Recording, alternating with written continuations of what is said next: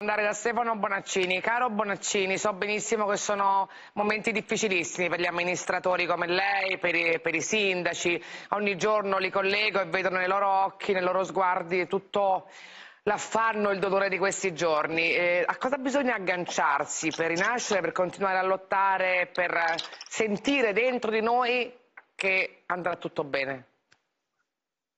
Sì, noi non possiamo permetterci neanche di piangere Abbiamo bisogno di reggere, di dare anche segni di speranza.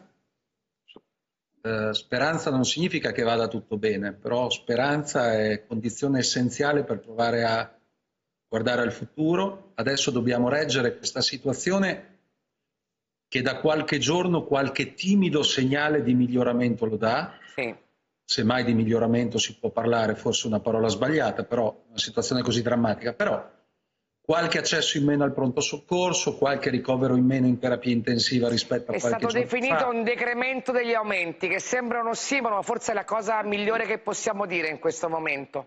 Sì, eh, io credo che, come molto bene Manuel ha detto, a lui va il mio abbraccio e anche di tutta la mia comunità regionale, eh, bisogna adeguare i propri comportamenti a ciò che ci viene detto o ciò che è scritto nei decreti e nelle ordinanze.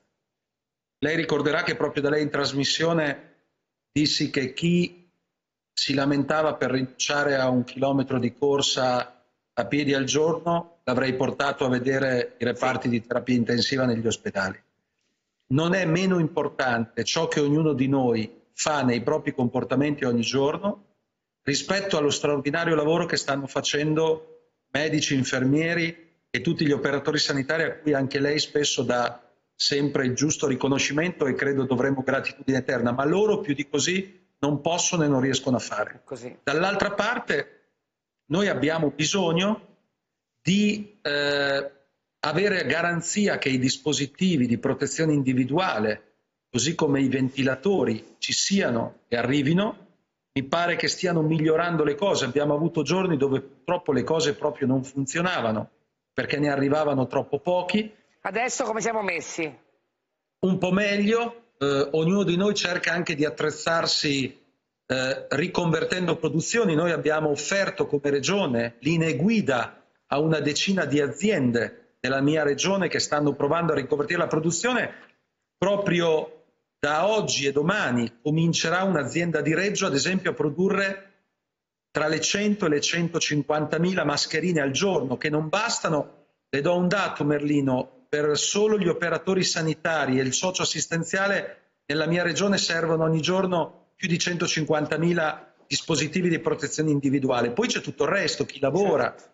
chi produce, chi deve essere messo in sicurezza. Però, Ce ne vogliono milioni di mascherine. Sì, adesso ripeto, pare che eh, da Roma qualcosa di meglio stia succedendo, così come oggi arrivano, voglio ringraziare il Ministro Speranza e il Ministro Boccia, sette primi medici per la provincia di Piacenza nel bando nazionale fatto per la Lombardia, a cui avevamo agganciato quella provincia che è una provincia a Guardi, siamo collegati con Piacenza, prima ho mostrato anche l'ospedale militare che sì. è stato appena montato.